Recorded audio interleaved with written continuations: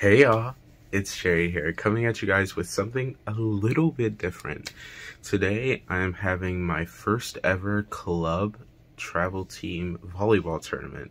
Now, if you guys don't know, I love playing volleyball. I play volleyball anytime I get, and I've been playing since sixth grade, middle school.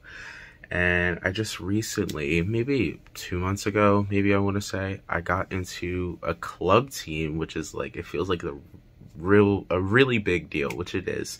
Uh, but the unfortunate thing is because of like COVID and everything and things like that, the club that I play for, they were trying to get something and we got something really like late into the usual boys club season. Volleyball in regards to high school, high school boys volleyball usually starts in the spring and around like second or third week of March, right?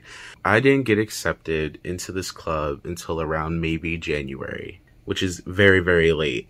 Um, so my club was trying to get a tournament or at least something uh, to, you know, play and things like that. Cause, you know, we want to play, right? Uh, so yeah, it is currently, I want to say like 520. Yeah, right on the dot. It's currently 520. Uh, I woke up at 4.30. I was up until 1 because I was playing video games. Uh, but we woke up at 4.30 uh, to this amazing alarm that I'll play possibly, right?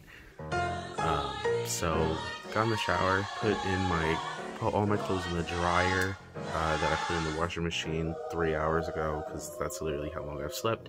Uh, the tournament is like an hour and a half away from my house, so I plan on napping during that time.